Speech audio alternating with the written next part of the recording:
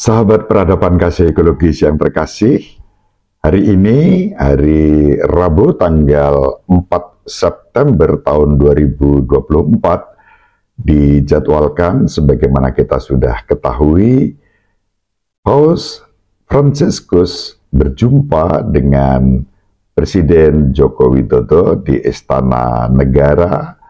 Dan yang menarik bagi saya adalah sambutan dari anak-anak di sepanjang jalan saat Bapak Suci duduk di samping sopir Kijang Innova dalam perjalanan menuju Istana Merdeka. Sambutan anak-anak yang begitu antusias bagi saya itu sangat menarik. Dan istimewa begitu Bapak Suci turun dari mobil duduk di kursi roda, tangan kanannya langsung terulur menyapa anak-anak. Anak-anak sedemikian histeris dengan antusiasme yang saya yakin penuh dengan sukacita menyambut Bapak Suci Paus Franciscus di Istana Negara Republik Indonesia di Jakarta. Kita simak bagaimana suasana histeria penuh antusiasme anak-anak menyambut Bapa Suci dalam sepanjang perjalanan menuju Istana Merdeka. Ada yang berteriak Romo, Romo, ada yang berseru Viva Il Papa, ada yang berseru Pope Francis, Pope Francis istimewa. Saya yang menyaksikan dari tayangan live streaming itu sudah terbawa dalam suasana itu merinding, bahagia, terharu, ngalap berkah Bapak Suci Paus Franciscus bersama anak-anak. Alangkah bahagianya anak-anak bisa ber sentuhan tangan yang mungkin bersalaman, mungkin sekadar menyentuh tangan kiri Bapak Suci yang terulur untuk anak-anak. Penuh dengan cinta kasih dan damai sejahtera. Berkat seorang Bapa untuk anak-anaknya. Semoga berkat yang sama tercurah untuk panjenengan yang menyaksikan cuplian ini.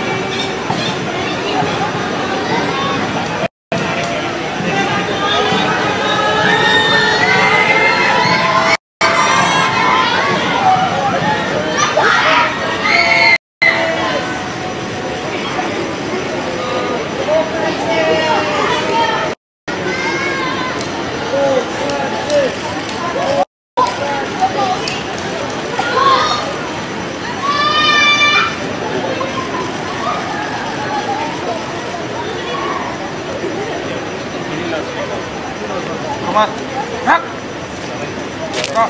Hấp. Hấp.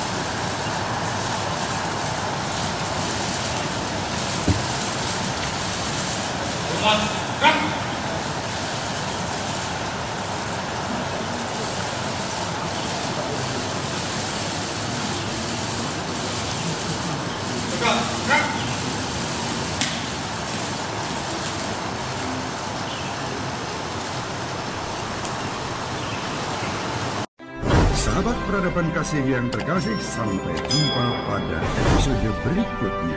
Terima kasih atas kebersamaan kita. Salam peradaban kasih ekologis. Berkah dalam